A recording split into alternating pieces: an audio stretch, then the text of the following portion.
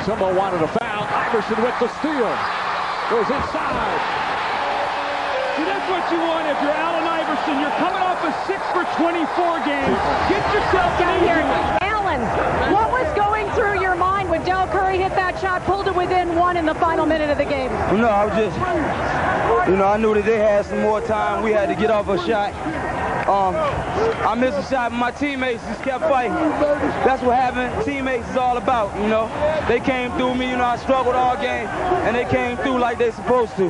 This is the most emotional we have seen you after a victory. Larry Brown said that these are the kinds of games that define players and define franchises. What does this say about this team that they've been able to come back like this and win this game? That we're a team. You know, we're a team. Simple as that. You know, don't get no better than this. You know, in the locker room, outside of the locker room, we always a team. We always look out for each other. We always do a lot of things with each other. We're a team. For the first time in my life, I'm on a team. Is this the best moment of your career? Huh? Is this the best moment of your career? The best moment of my career is just getting drafted and just being put in the predicament to do these things. And I thank God for it. Okay, we had Aaron McKie here. I think we lost him in the crowd. We're going to send it back to you, Mike.